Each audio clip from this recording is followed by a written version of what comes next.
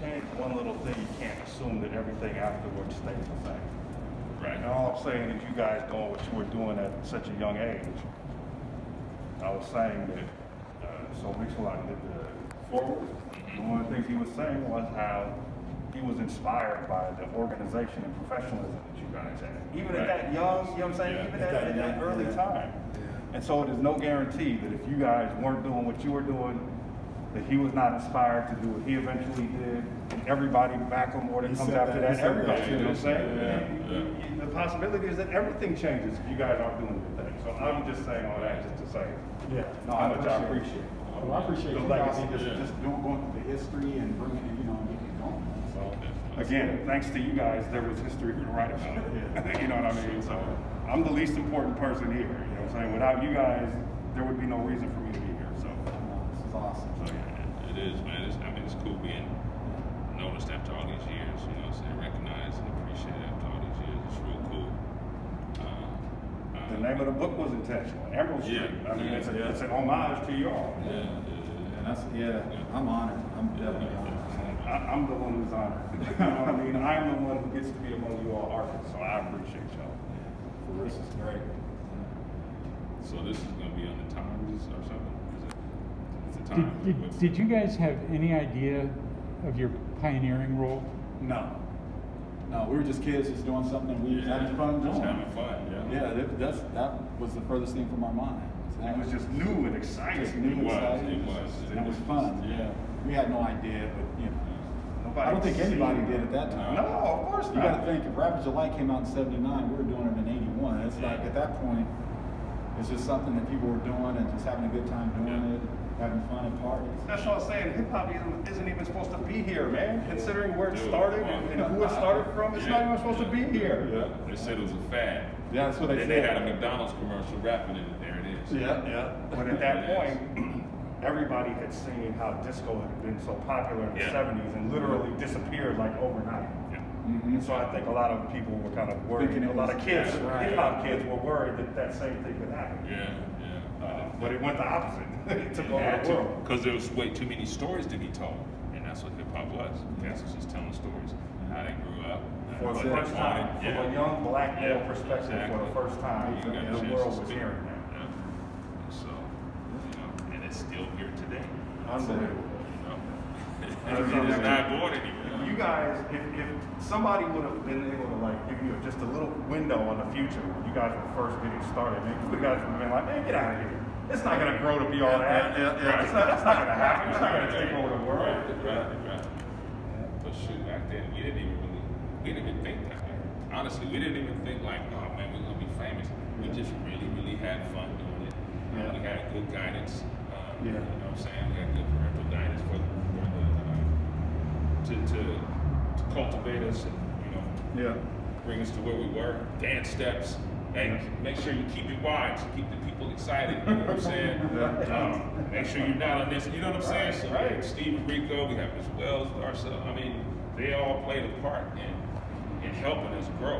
Yeah. And, and you know, so shout out to them, man. Yeah, big time. And there was plenty of times when we did say, man, forget this, because we kids. Yeah. We don't want to rehearse every day, man Yeah. you know. But I will tell you that uh, the disciplined one in the group was Ed. Yeah.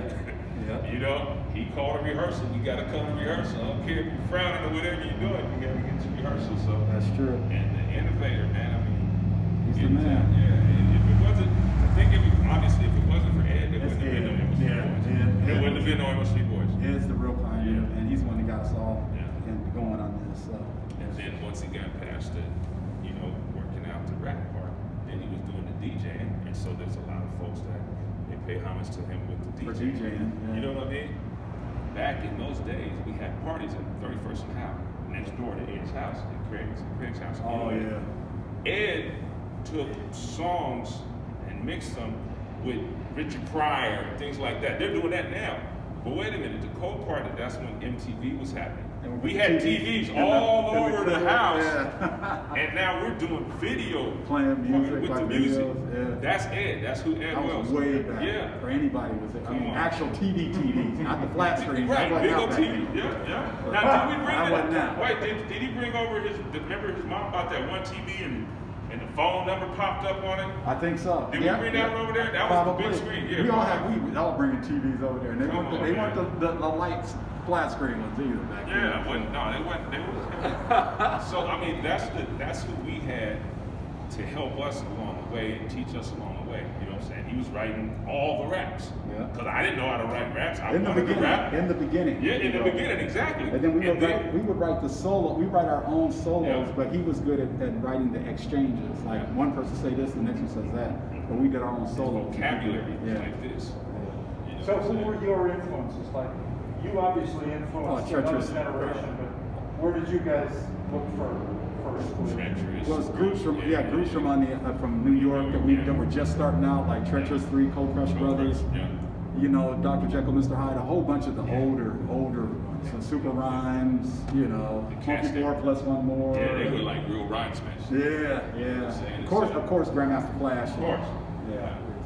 You know, most of the kids who take, I teach a hip hop class at Seattle Central. Most of the kids who take the class are late teens, Uh-huh.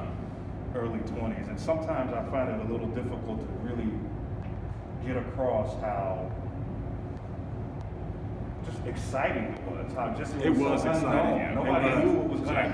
happen. There was no formula. There was no there was no roadmap. It was Right. just everything was so new. Sometimes it's difficult to kind of communicate that to people who weren't there. Right. What, what that felt like. Right. Because now it's so mainstream. I mean, it's so part of the mainstream. You know, a lot of times it's there. You don't even pay attention to. it. Yeah. But at this time, it was just. But the see, mainstream yeah. didn't want nothing to do with it, which is Exactly, exactly what exactly. more attractive. like I, like I tell people, most of the times when we have these interviews, is they have to understand that even at that time, the thing that made us unique in what we did and the professionalism came from entertaining. Because we never knew what rappers looked like when they're on stage. So we had to, we, we modeled after stuff like the Temptations. Right. You know what I mean? And, that, and you got to think about it. Even though we were using box steps, we knew that we had to be in unison. We had to be tight. We wore the same thing, so we were actually it's like the Temptations and rap together Yeah. is what we actually used. Yeah. It sounds funny to say the Temptations, but that's actually what we did. You know, so. And I was the first Nate Dogg. Uh, I was the first Nate Dogg.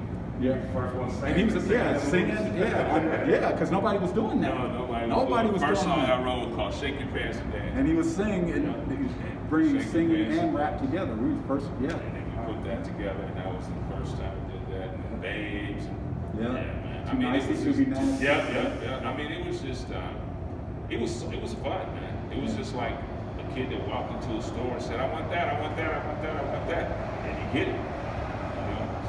You know, so. I miss it. I don't know if I've ever felt that way. no, seriously, I don't know if I've ever felt that way again in my life Yeah. after that time. Yeah, exactly. It all changed. It changed, Yeah, It all changed. yeah, so.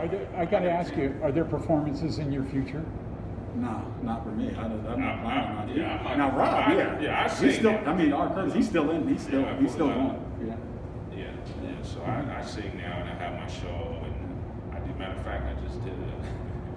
I took my recording equipment to this lady's house. They had like ten ladies and they wanted me to do a 70, 75 year old lady's birthday. So I took my and then I did some songs. But this lady was like dropping it, bringing it back up. Not like I was it or anything. I'm just saying she had that you know that little that, that youth to her. But no, they had, it was it was had fun and I performed. So yeah, no, I'm I'm gonna keep because it's in me, so it's got to come out. All right.